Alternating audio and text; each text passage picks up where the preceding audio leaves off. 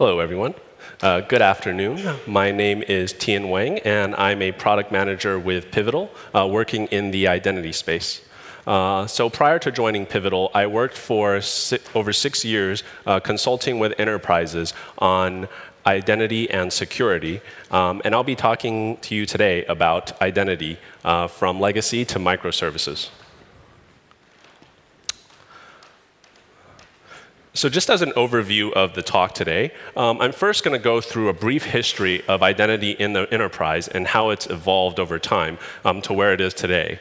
Following that, I'm going to give an overview of UAA, which is Cloud Foundry's native identity service, um, as well as the SSO service tile, which is a service broker that allows utilizing a lot of the capabilities of UAA.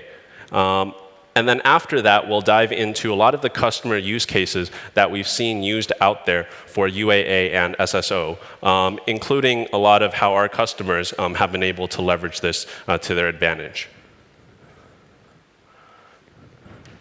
So first, just a primer about identity. Um, identity is something that all companies have to take care of, whether you're talking about customer users or your employee users or even your service-to-service -service applications. Um, identity is one of the cornerstones of security in that it's something that you need in order to be able to authenticate and authorize users for your applications. Uh, so this is something that almost must be there uh, from a security perspective.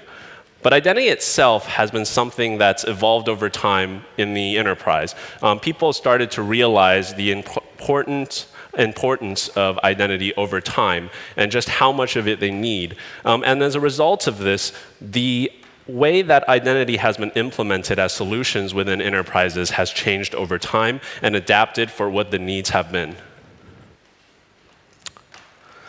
So in the beginning, um, people had their applications, and hey, anyone could access your application anywhere. And someone started to realize, isn't it a good idea if I check who's accessing my applications and I can secure them somehow and prevent you know, malicious people from doing bad things to my systems? And that's kind of how the identity came to be as a concept for applications in the form of local user stores. And this made sense because you know, application developers could build it for their applications. Um, they could basically take whatever they needed to have and build that to their, towards their apps and store it wherever was convenient for them, whether that was a file, a database, a directory. And that was very simple. You could set it up in a development environment. You could get up and running right away. Now, this works great when you're talking about a single application. But as you start to be kind of an enterprise, you realize no company just has one single application. Um, that's going to grow as you start to build out more and more applications. Um, so when you have hundreds of different applications, this is not going to be a maintainable model because you're going to be duplicating users across a lot of these applications. And your application developer is going to be thinking, you know, well, I want to do it this way, um, but they did it another way. Uh, and there's just no agreement among how to do it. So you have all of these different implementations that are being reinvented. Um, so you're basically reinventing the wheel over and over again.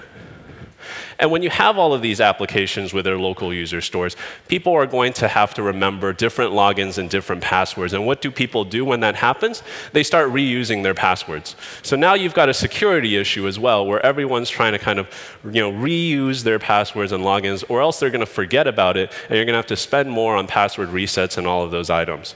And this is going to get very expensive to manage, um, because not only do you have different applications out there um, that have their own users, you have to go in and kind of change those users, remove their access, um, you know, do password resets. And I don't know if you know, any application developer has ever said, I want to build an admin interface for my users for uh, you know, support to go in and change people's uh, passwords.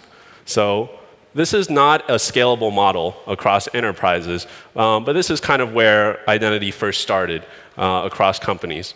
So as enterprises began to mature in the area of identity, they realized that since we're one single company, why can't we just have one you know, user store, one location where I have all of my users and all of their data and all of what they need, and all of my applications can use that. So that's where enterprise directories came into play. And this would be something like an LDAP server, like Active Directory, where you would basically share your users and passwords for all of your corporation's applications. Um, you could manage and deprovision in one central place. you'd be able to you know, basically handle the applications within your company in a more straightforward fashion. So this was you know, a good model, and it made sense for many, many years. Um, companies still might be in this state today, but um, as, we, as companies began to kind of evolve in the like technology area, there became more and more of a need to work with other companies, uh, suppliers, partners, um, hosted applications, things like that, uh, that are going to have separate users or separate applications that your users need to access or their users need to access your apps. And that's where this no longer became a good model for sharing users because you, know, you didn't know um, whether or not you could send your users to them. You might have firewalls that make it hard. You don't want to open that up to the world. So this then runs into the same issues that we had with the user stores that were local, in that you're duplicating a lot of your users, you're having a lot of the data, the management issue becomes an issue again. And you know, do you share your sensitive data with other people? Like if you give someone else your passwords to your users, aren't they just going to get hacked and then go into your company and take all your stuff as well? So this is not something that can work across a lot of different enterprises. So as a part of this kind of dispersion of identity into different companies then, um, this idea arose that, hey, we should be able to federate users from other companies and or federate our users to other companies so that we're using each other's systems, but we own the data that we should be maintaining. Uh, so SAML 2.0 came out as the leading standard for federation. This is like early 2000s. Uh, and that really became a way to then say, this is my user, they're logging in at my location, so I have all of their data, all of their passwords, and I'll just send you an assertion or a claim that this person is who they say you are, so that you don't have to maintain of this any data for me, and I don't have to worry that all of this stuff is being left on your side. So not only are you kind of keeping a lot of that security safe, but you're also able to manage your users and take care of how they're being kind of, you know, the life cycle of that user without having to worry about other people. So this was very good when it first came out for the web apps that were kind of built during that age. But this model doesn't really handle beyond the case of web applications. So yes, you could log in towards a monolithic web you know, application and it would be able to federate with other companies, but it doesn't really handle non-interactive flows. It's something that um, also doesn't really work for service-to-service -service calls because it's really, you're logging in through a browser, it takes you to a login page. That doesn't work with CLIs and it doesn't work between services. So a lot of these weak points then became kind of a, these, these, were, these worked back in the day because a monolithic web application um, could support that kind of thing and things worked. But when you started to get more and more API usage on the back end, you found that you could no longer use this model sustainably uh, as you start to grow uh, in terms of your API ecosystem, especially in kind of a microservices-oriented world. So this was definitely not microservice friendly.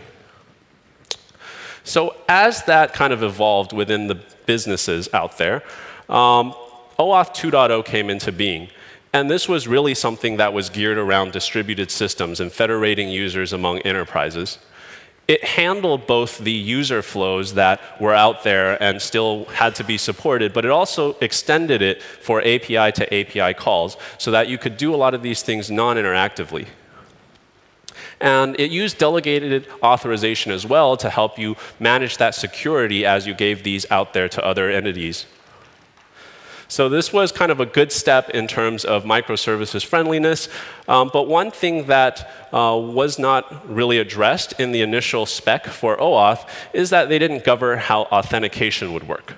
So this kind of arose as an open question of, well, how should I be authenticating my users? Because the spec doesn't really talk about that. So then the last step then to bring authentication also in line with authorization um, came OpenID Connect. And that was essentially a standard built on top of OAuth 2.0. So when you're building something that's OpenID Connect compliant, you'll also be using OAuth behind the scenes.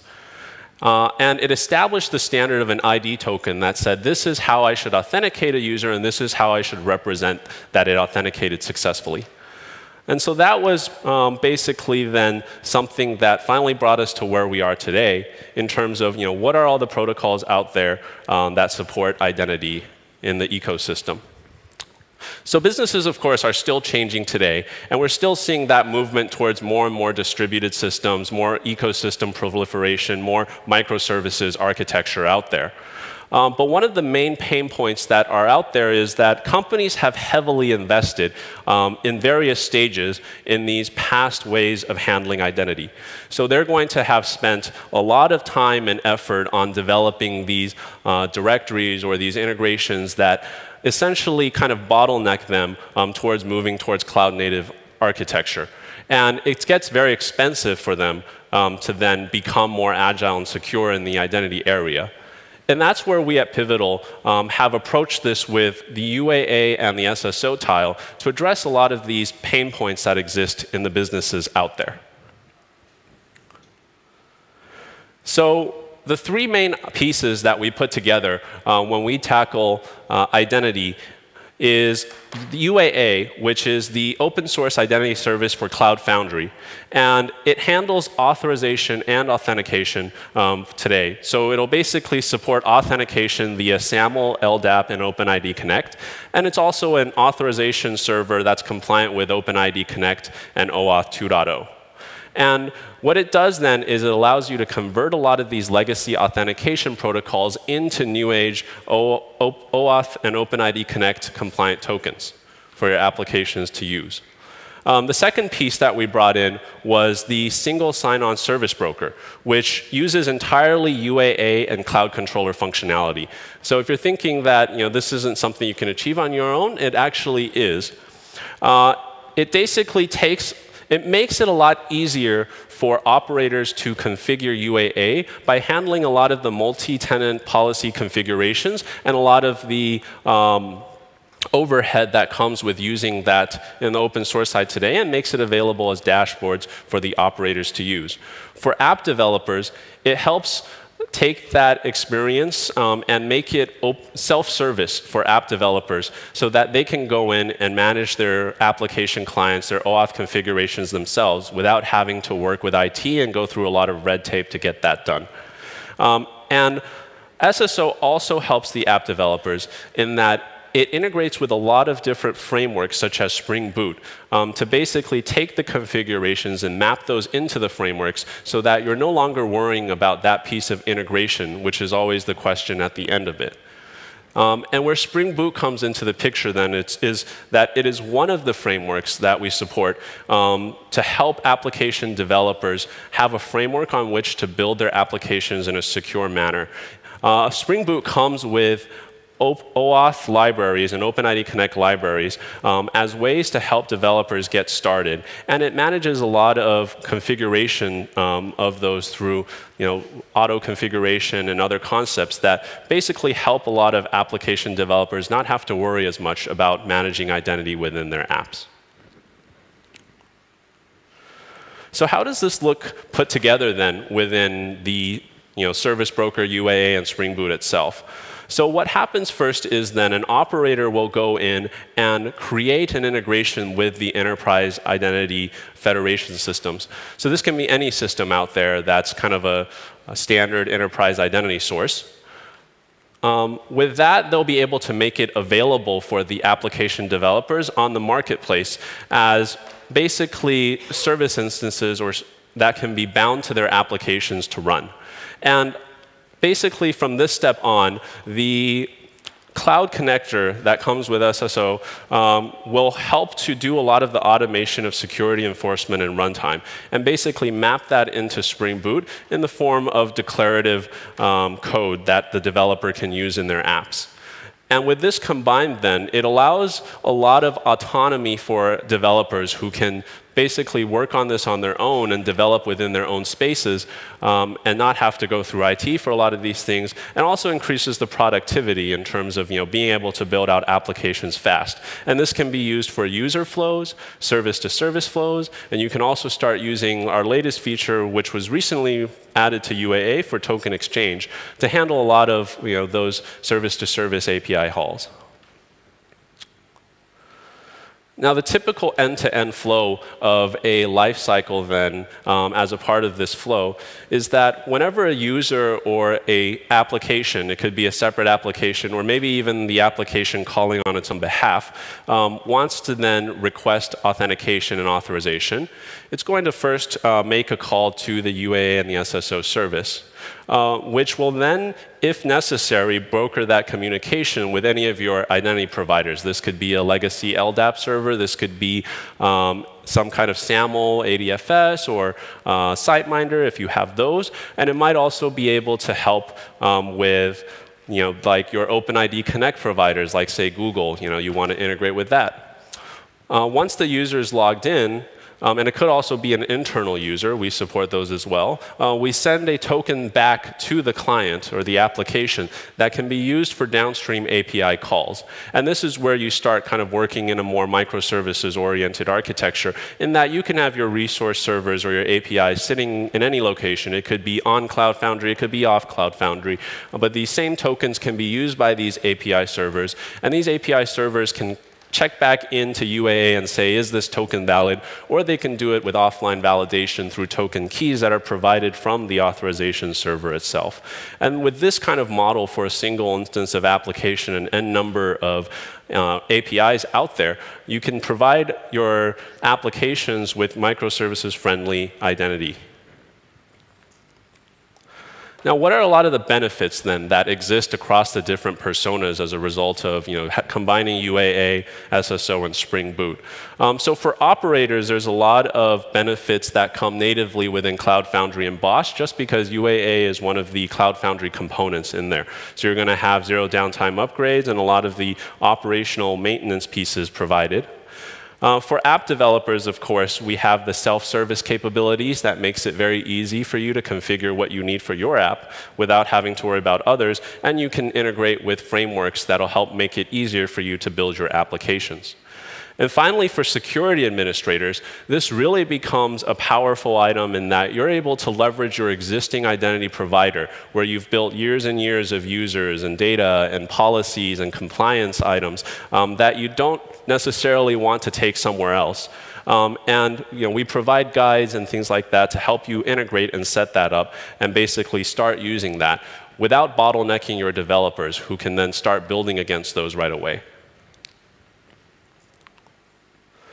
So some of the common use cases that we see out there um, on how single sign-on and UAA are used. Um, first one being, of course, application onboarding. So this could be new applications that you're building for the first time on Spring Boot, or this could be legacy applications that are already integrated with an identity provider you have out there, and now you want to move them onto Cloud Foundry, make them cloud native. Uh, so the main thing is we only require that your applications be OAuth aware. And this can be done through frameworks such as you know, Boot or any other libraries that you have out there. And we help take the legacy protocols that you have out there and convert them into tokens for your applications to use. And this really gives an ability to allow for fast migrations and fast development. Um, so in one example, we had one customer that was able to onboard 20 applications in the course of six weeks with their legacy identity providers. A second common case that we see out there is that as there are more and more companies you're doing business with, more suppliers, business units, more partners, you're going to have a lot of different identity providers um, that are providing disparate user sets for your applications. And this can be a pain to manage, especially because you don't want to build your application to talk to five or six different identity providers, um, set up all those integrations, and maintain those integrations. So through the multi-tenant um, self-service architecture that UAA and SSO provides, essentially you can define a lot of these integrations once and make them available through the service marketplace, either as configurable items for them to select, or if you have to restrict them, kind of disallow them from certain orgs or spaces, and you know, only then the appropriate people can use the corresponding identity providers they need. And lastly, of course, is another use case which is less common but still happens very often in the uh, enterprise is switching identity providers. So identity systems change pretty often, and that leads to very expensive rewrites of applications. And most of the time, this is not something that's handled by application developers, but it lands on the application developer's plate to be able to handle these types of situations. Um, what happens when you have this kind of a service broker idea in between your identity providers and your applications is that not only can you build your applications to be cloud native, but you're also protecting yourself from the impact of upstream systems changing and kind of putting a lot on your plate to handle in terms of that integration. So this is definitely something out there that we've seen customers leverage um, when they're using the UAA and SSO as an identity broker for their applications. Now, finally, of course, I like to just wrap up with some um, tidbits from a few of the customers who've been using UAA and SSO over the years. So the first customer is a company called Manulife that does financial insurance work out in the United States. And they've been using the SSO service for the last one and a half years. Uh, they have over 100 applications that are bound to the SSO service. That's both a mix of new applications they've developed and applications they've migrated from legacy um, builds. They have 200 to 300 active developers across PCF, and all of that is managed by three operators, um, including management of the SSO service tile itself. Prior to moving on to the uh, SSO service and UAA, they were primarily using IIS and IWA to connect to an AD backend. And they had very limited RBAC capabilities for which they required a lot of red tape to go through IT and set up. And that could take you know, days or weeks to get done.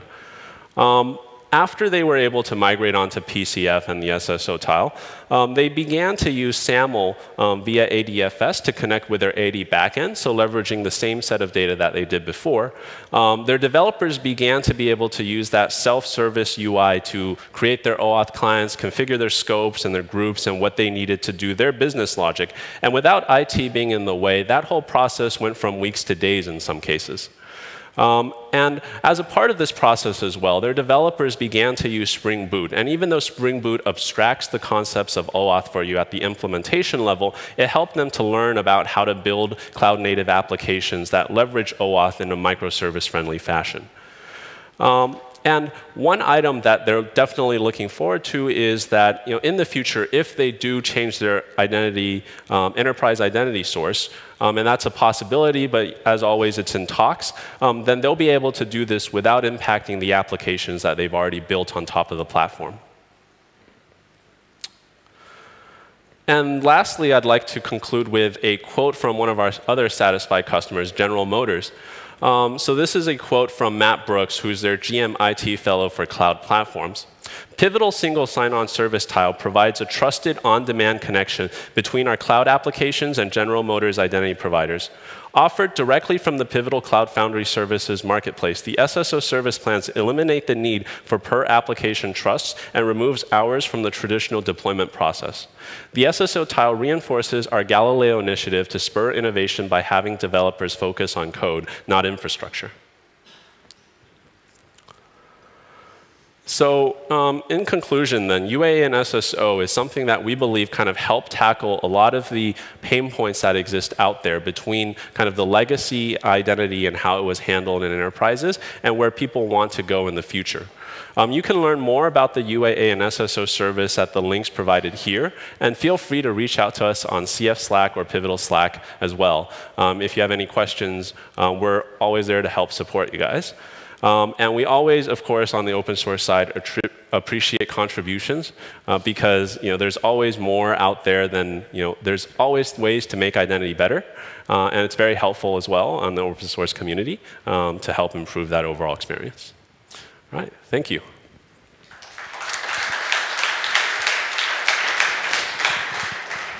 So now I'll go ahead and uh, take any questions. Yes?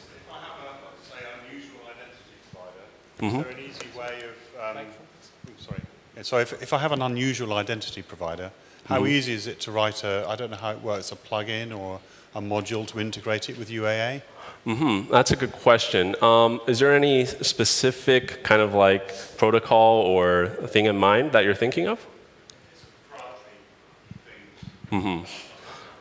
Um, that's a good question. Um, and I don't think we've quite explored that on the front of that, but we have had um, open source contributors provide integration options into the UAA platform before. Like the entire SAML piece was, I believe, donated um, from an open source contributor. Um, so it's not um, unusual for us to see that come in through the open source channels. Mm -hmm. So uh, how do you want to do the integration? UAA has a set of protocols. So it has the OpenID Connect mm-hmm. protocol, mm -hmm. it has the SAML protocol, it has the LDAP protocol. Mm -hmm. And uh, therefore, if you're looking for integration through those protocols, uh, then you can just do it by providing um, an implementation of one of those protocols. So. Mm -hmm. Right. And then if it's a new protocol, that's somewhere where it might be some new feature or pull request against the UAA GitHub.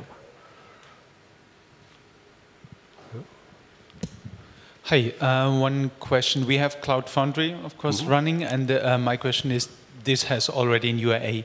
Um, what do you uh, propose? Should we um, to be an identity provider, create that platform, use a different UAA, deploy it again on Cloud Foundry itself, mm -hmm. or use the uh, built-in UAA and just align that. Uh, actually, we wanted to split this Cloud Foundry users from the, mm -hmm. the actual identity provider. Right, that's a good question. And um, what we recommend here is, is that with, with the UAA that already comes with Cloud Foundry, it provides the ability to use kind of multi-tenant identity zones to supply a lot of that functionality yourself. And that is the piece that the SSO service leverages and what we tell clients to do as well with just UAA on its own so that you can kind of save a lot of the overhead of deploying the, your own UAA and kind of take advantage of what Cloud Foundry provides already with BOSH. Mm -hmm. Um, can you run UAA outside of Cloud Foundry? Because we're basically looking for uh, an OpenID Connect server, and all of the offerings are not very nice to use yet. Mm -hmm. So you can run uh, UAA outside of a Cloud Foundry. Um, that comes with kind of overhead in terms of you know maintaining the upgrades um, and doing a lot of that operations piece yourself um, which you know, is something that um, comes with kind of having it outside of Cloud Foundry. So it's something that's definitely possible, um, but one of the things that we kind of like you know, don't recommend as much in case you already have Cloud Foundry available. Mm-hmm. All right. So if there's no more questions, um, thank you for your time. I'm happy to answer any questions up here as well after the talk.